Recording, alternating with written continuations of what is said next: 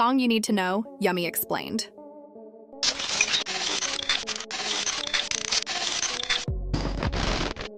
The music video Yummy on YouTube, which was uploaded four years ago, was again highlighted because it was considered to describe a party that Diddy often does at his place of residence.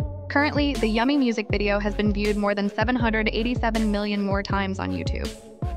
The revelation of a narcotics, fraud, and sex trafficking case involving American rapper Sean Diddy Combs alias P. Diddy has dragged in many celebrity names.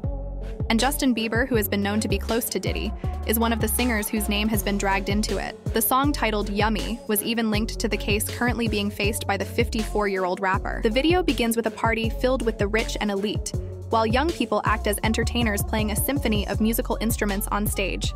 A beautifully decorated table filled with a variety of food awaited Bieber before a silver platter was then delivered to him, revealing a strangely arranged sandwich that fans said was strategically placed. If you take a closer look at the sandwich, there is actually a cherry there, so the bread is set up to protect the cherry. She continued, calling the cherry a symbol of Bieber's innocence prior to Diddy's mentorship.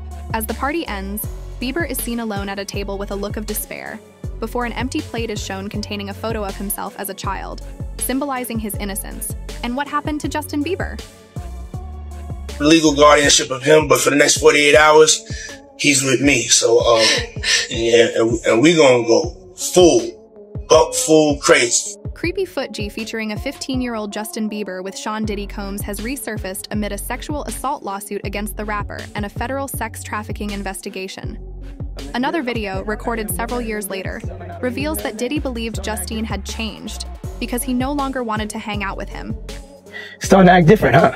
You, ain't, you ain't been calling me and hanging out the way we used to hang out. Well, I mean, you're, I mean, you try to get in contact with me, you know, through all my, you know, you know, partners and whatnot. Mhm. But you, you never really got, got my number, so. Right, okay. Remember? Yeah, yeah. Many comments on social media have slammed Diddy and called him creppy. And some have said that Justine has been through a terrible thing.